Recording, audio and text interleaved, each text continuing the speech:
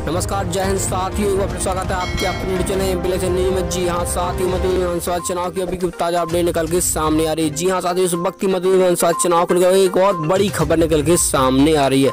हाँ साथियों, आपको बता दें कि मंत्री ज्योतिरादित्य सिंधिया के गढ़ ग्वालियर चंबल संभाग में एक्टिव हुए जयवर्धन सिंह। जी हाँ साथियों, जानिए क्या है इसके सियासी मायने और किसकी बन सकती है कब मध्य प्रदेश में सरकार। जी हाँ साथियों, इससे पहले आप चैनल पहली बार तो वीडियो को लाइक और चैनल को सब्सक्राइब करना मत भूलिएगा। जी हाँ साथियों, इस बार विधानसभा चुनाव में दोनों ही राजघराने के बीच सीधी टक्कर मानी जा रही है। दोनों दोनों के ही अपने अपने दाव, दावे नज़र आने लगे हैं। साथियों, ग्वालियर संभाग की सीटों पर पिछली बार कांग्रेस ने जोरदार प्रदर्शन किया था। जी हाँ साथियों, इस बार भी केंद्रीय मंत्री ज्योतिरादित्य सिंधिया ने ग्वालियर चंबक संभाग में कड़ी मेहनत कर रहे हैं। इस बार में भारतीय जनता पार्टी की सरकार को एक बार फिर सत्ता दिलाने की भरसक तैयारियों में लगे हुए हैं। जी हाँ साथियों, वहीं दूसरी तरफ़ पूर्व मुख्यमंत्री दिग्विजय सिंह ने अपने पुत्र जयवर्धन सिंह को इस इलाके का उत्तराधिकारी बना दिया जी हाँ साथियों, पूर्व मंत्री जयवर्धन सिंह लगातार ग्वालियर चंबक संभाग के जिलों का दौरा कर रहे हैं।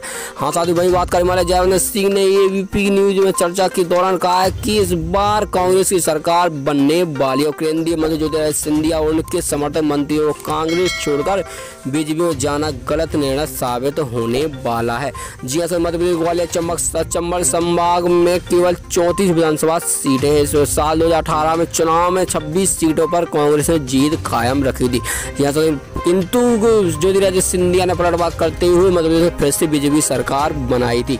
जी हाँ साथियों, इस बार क्या मध्यप्रदेश में बीजेपी सरकार बन सकती है? कमेंट बॉक्स में लेकर ना मत जैन साधु वीडियो चलिए तो लाइक शेयर और सब्सक्राइब करना मत जैन जय बात मिलते हैं वीडियो में।